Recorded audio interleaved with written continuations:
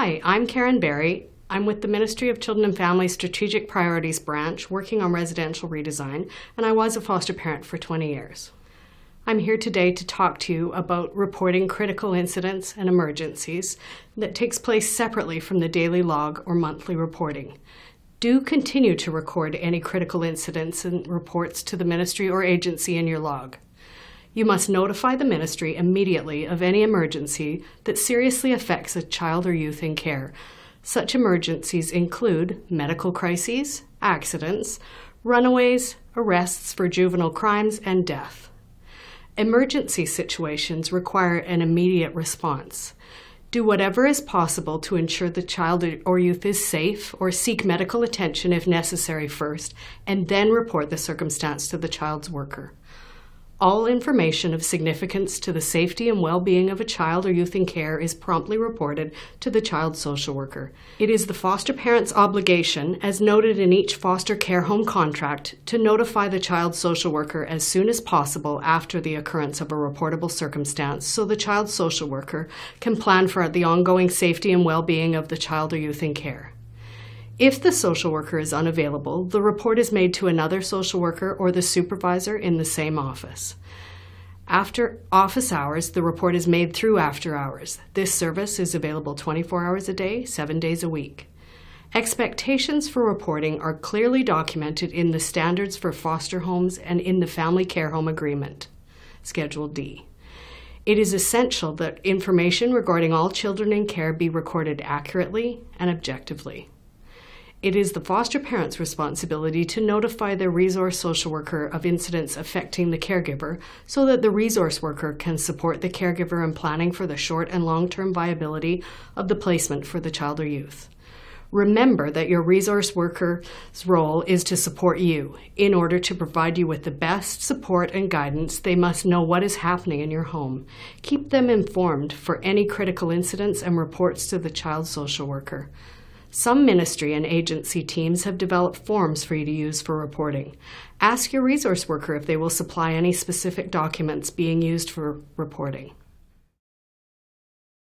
Following are examples of reportable circumstances the death of a child or youth, accident or illness of a child or youth that requires medical treatment or hospitalization, gestures, threats, or attempts of suicide by a child or youth any displays of self injurious or high risk behavior by a child or youth, situations when a child or youth is missing, lost, or run away, situations when a child or youth has observed, been involved in, or exposed to a high risk situation or disaster, such as a fire or multiple abuse situation in a school, that may result in emotional trauma or post traumatic stress.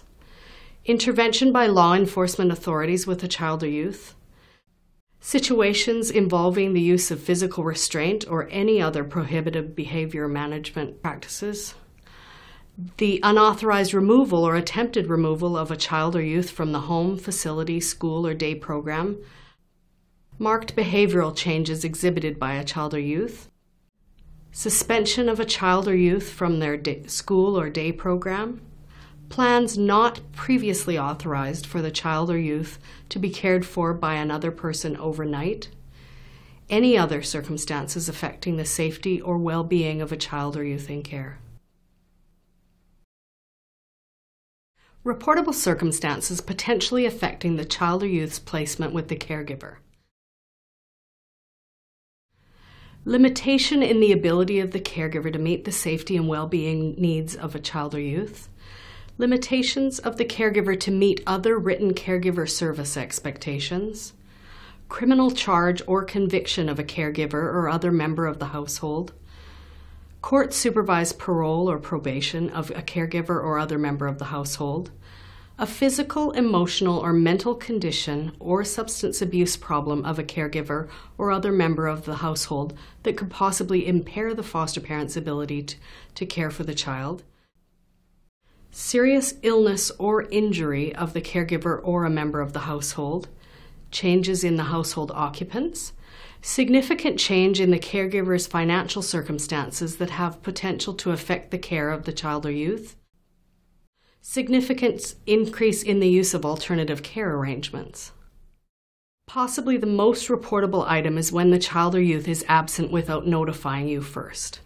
If the child or youth in your care has a habit of running off without permission, commonly called AWOL, which stands for absent without leave, develop a plan with the child's worker and your resource worker about when to report an AWOL and what steps to take to locate the child or youth. In all cases, after a report is made, the ministry or agency director or social worker determines the type of response required based on the nature of the reported circumstances.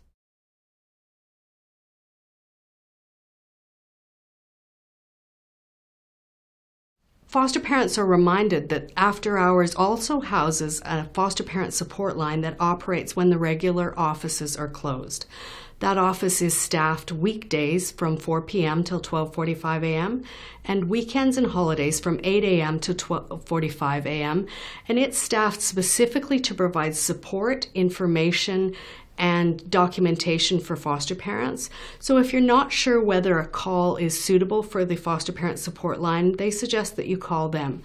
And the number is 1 888 495 4440.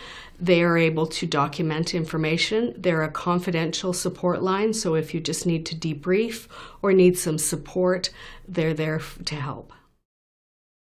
I hope you enjoyed this segment of BC Foster Basics. If you need further information or assistance regarding foster parent education or any other fostering subject, please call us at 1 800 663 9999 or check out our website at www.bcfosterparents.ca.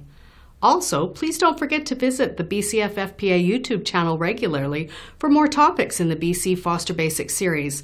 Topics such as adopting your foster child, understanding your contract, and many more.